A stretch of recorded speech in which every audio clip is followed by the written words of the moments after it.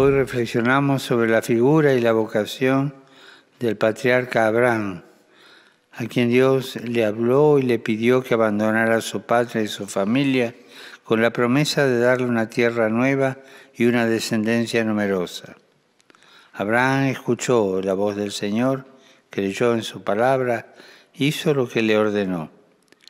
Con su respuesta obediente al Señor, Abraham es modelo del que cree y sigue con fe la voluntad de Dios, incluso cuando esa voluntad se revela difícil y en muchos casos incomprensible y dramática, como cuando Dios le pidió sacrificar a su hijo Isaac. Por su fidelidad a la promesa de Dios y la nueva manera de entender su relación con Él, Abraham está presente en las tres grandes tradiciones espirituales, la judía, la cristiana y la musulmana, que lo considera como padre en la fe, atento y obediente a la voluntad de Dios.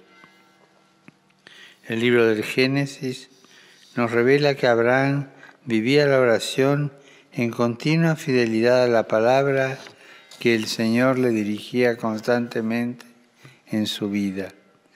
El Dios de Abraham no es un Dios lejano que se manifiesta en fenómenos cósmicos y causa temor, sino que es un Dios cercano, familiar, providente, que sale al encuentro del hombre y lo visita, como esos tres misteriosos huéspedes que Abraham acogió en su tienda. Dios se hace compañero de camino y guía en todo momento.